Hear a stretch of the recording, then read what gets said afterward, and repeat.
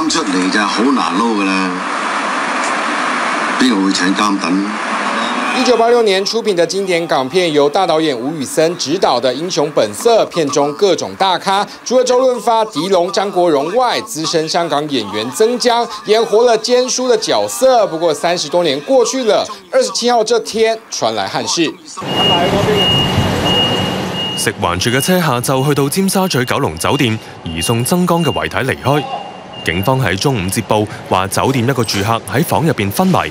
八十七岁的曾江在不少港片中嘎过一脚，时常演活倒大的角色。根据港媒报道，日前他从新加坡回香港入住防疫旅馆。二十六号，女儿还特别去关心，没有异状，快筛也阴性，但近几年身体确实有不少状况。耳仔听唔到啫，仲有就系痛风啫。认识接近七十年的演艺圈好友，一时间听到消息难以置信。因为我唔想佢唔喺度啊。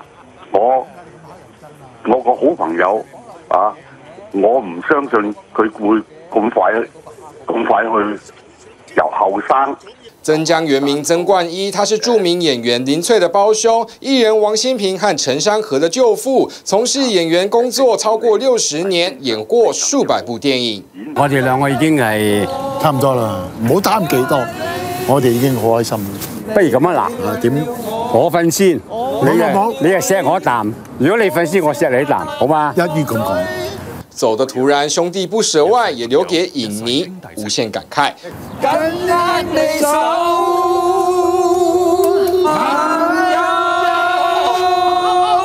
特别新闻综合报道，请支持 TVBS 国际 Plus 全新频道，让您扩大视野，掌握趋势，接轨全世界。恳请订阅，开启小铃铛。